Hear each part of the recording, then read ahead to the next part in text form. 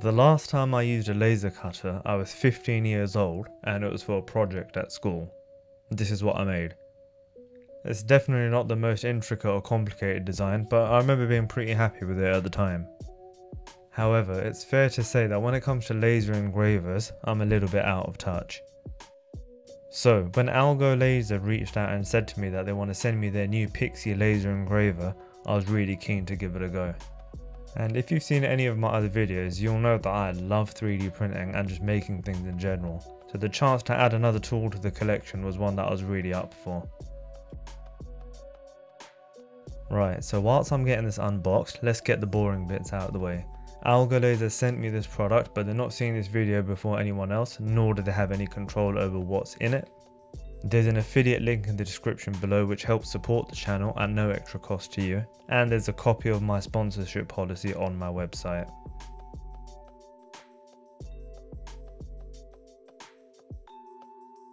When you first open the box, when you first open the box, you will find a user manual, a protective shield that sits on top of the laser to protect your eyes, and a stylus that comes in really handy for interacting with the touchscreen.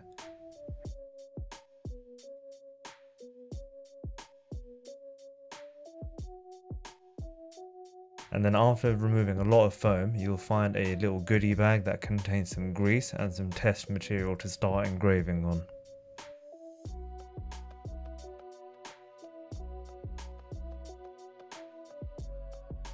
It also comes with a duct that attaches to the back of the engraver to get rid of any fumes. And at first glance, I gotta say I'm loving the way this thing is looking. I love the red and black combination. It's got a really modern minimalist design and it's actually really small. You can see it up here against my Prusa Mark 4S as a comparison. At the back of the engraver, you've got all of your main ports, the place to connect the ducts, and you've also got thumb screws so you can manually adjust the height if you want to engrave taller objects. And so after getting the duct fitted, it was time to power this thing on and see what's see what it's all. And so after fitting the duct, it was time to get this thing hooked up and powered on and see what it was all about.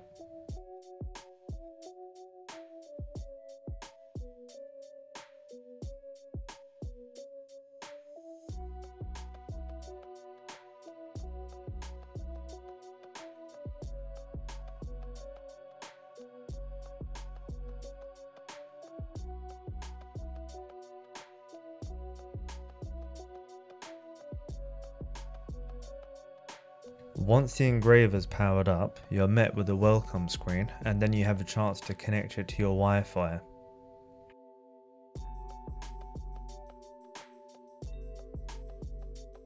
Immediately I was informed that there's a new firmware available, so I got started by updating that first.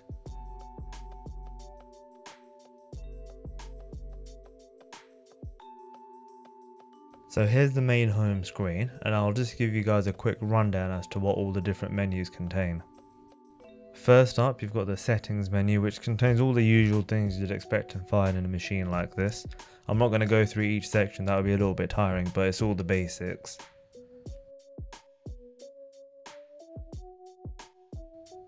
The engraver comes with some demonstration projects that you can try and that's under the projects tab. It comes with an SD card and it's got some built into its own memory.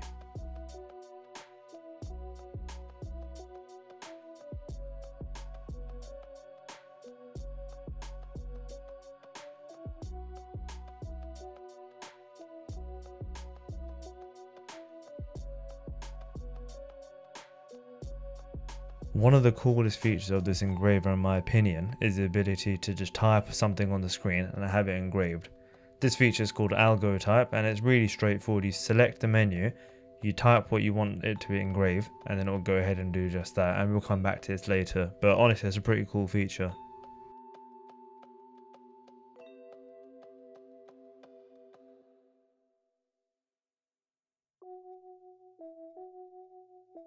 And similar to Algo type, you have Algo Draw, which is where you can actually draw on the screen using the stylus that they send, and that will that will get engraved into your material of choice.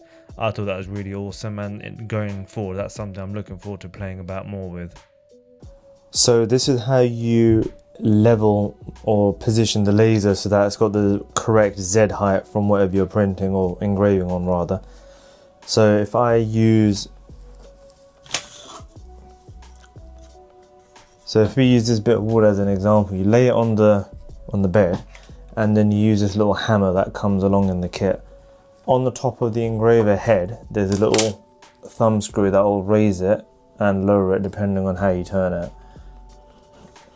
So just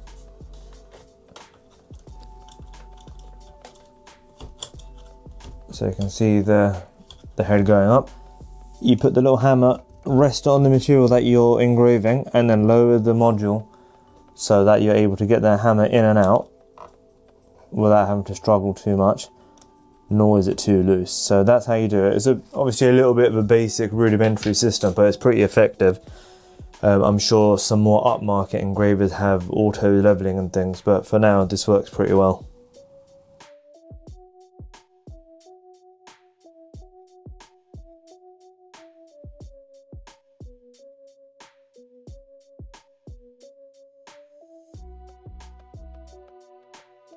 With everything set up, I was ready to get engraving. So I loaded up one of the demo projects on the engraver and set down some birch plywood to get engraved.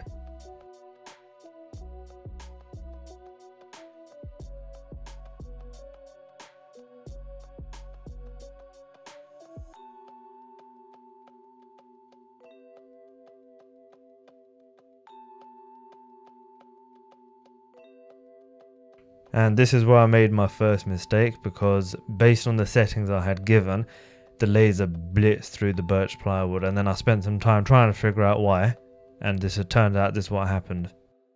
So this is something I didn't realize, but you actually have to tell the engraver the power of the laser that it comes with.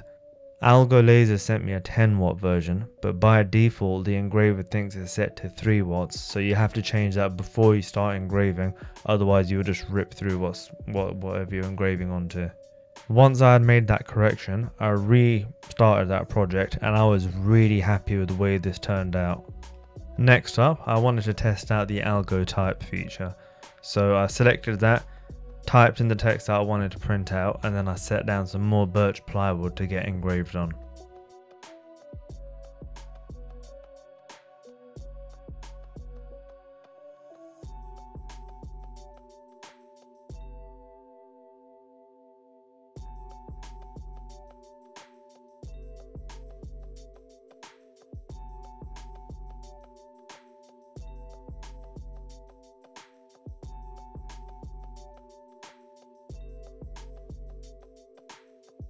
And again, the little guy delivered. I got nice, crisp text. Really straightforward to do, and it turned over pretty quickly. And, and again, this little guy delivered. I got nice, crisp text, exactly what I wanted, and it did it fairly quickly as well. And then the last native feature to test was Algo Sketch, which I mentioned earlier is where you can actually draw on the screen and it'll engrave what you draw.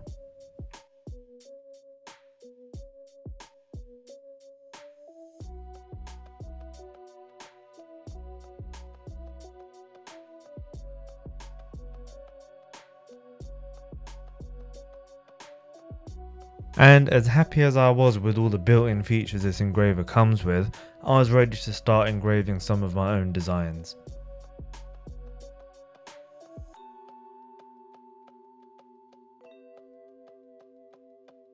First I did some research as to what are the best softwares to use when you're using a laser engraver and it turns out this software called LightBurn was pretty much the unanimous favourite so I went ahead and downloaded that Luckily, they have a free trial, so I was able to give it a go without having to pay for it. And to connect to the engraver, it's not immediately obvious how to do it, so follow along these steps, and then you should be able to start talking between LightBurn and your engraver.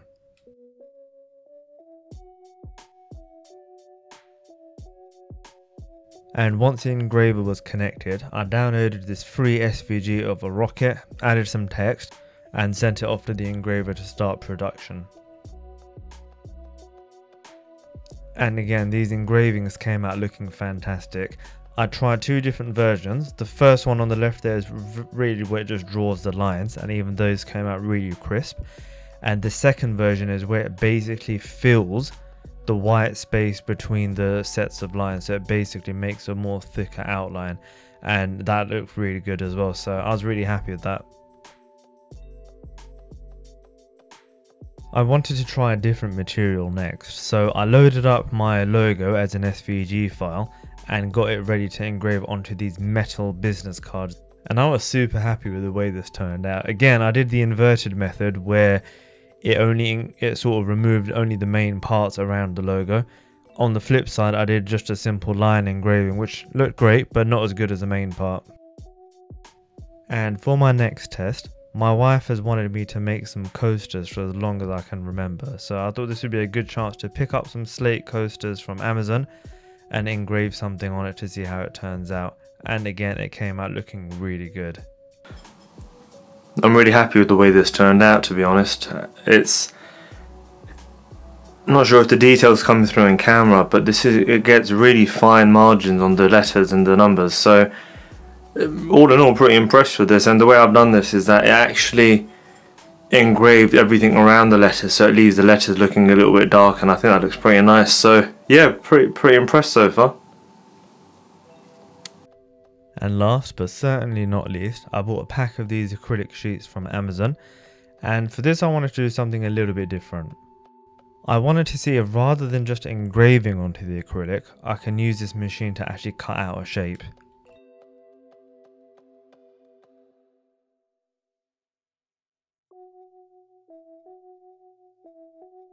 And it turns out you can, so I adjusted the settings and asked the machine to do multiple passes, and eventually it actually cut out the shape of the acrylic that I had in mind. It's not perfect because you can tell the edges are really quite melted. I think maybe I did too many passes or had the temperature set too high. But I was pretty impressed by the, with the fact that I was able to do it. And then for good measure, I ended up doing a very simple engraving on the acrylic and it came out looking absolutely amazing. So now, let's go through what I feel are some of the pros and cons of this machine.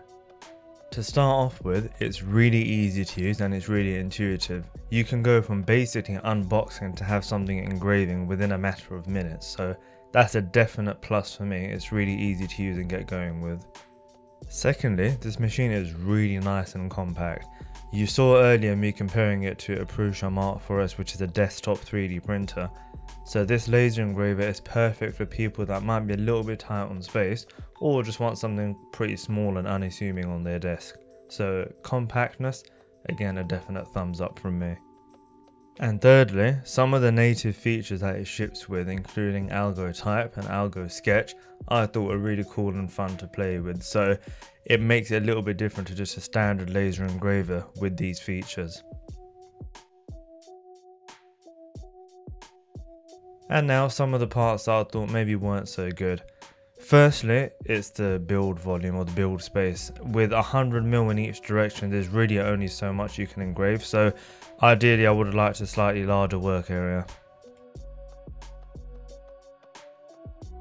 And secondly, the way you have to measure and set the distance of the laser from what you're engraving is really sort of basic and archaic. So I understand this is a budget laser engraver, so it's not going to have all the bells and whistles, but I think with the way technology is now, maybe it would have been a bit easier and a bit better from the user's perspective to have a better way of leveling things out. So for me, that was definitely a, a slight minus.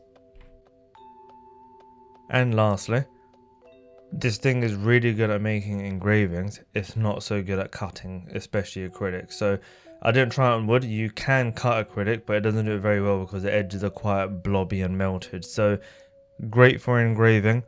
Cutting, I'm not I'm not so sure on. And that's going to wrap it up for this video, guys. Let me know what you think in the comments down below. Let me know if you have any ideas for what other tests I should do with this machine. But until then, I'll see you all next time.